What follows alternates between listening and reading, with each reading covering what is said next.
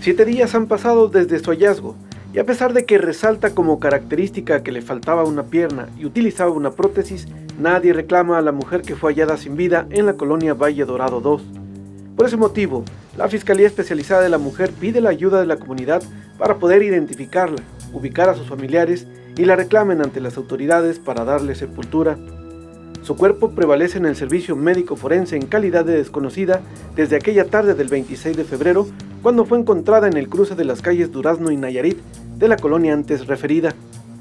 Con base en el resultado de la necropsia que se le practicó, la mujer murió a consecuencia de asfixia por estrangulamiento, es decir, su deceso fue intencional, cuyo autor prevalece prófugo de la justicia.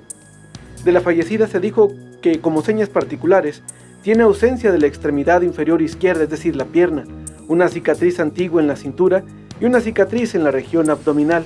Vestía chamarra azul con negro, bolsa roja, sostén en color rosa, pantalón de vestir negro, calcetines cortos de color gris y zapatos deportivos verdes. Es descrita de unos 60 metros de estatura, complexión regular, tez morena, y ante cualquier información que ayude a establecer su identidad, se pide acudir a las instalaciones de la Fiscalía Especializada de la Mujer, ubicadas en Boulevard Zaragoza 672 de la colonia Salvarcar, o comunicarse al número 629-3300 en la extensión 50802.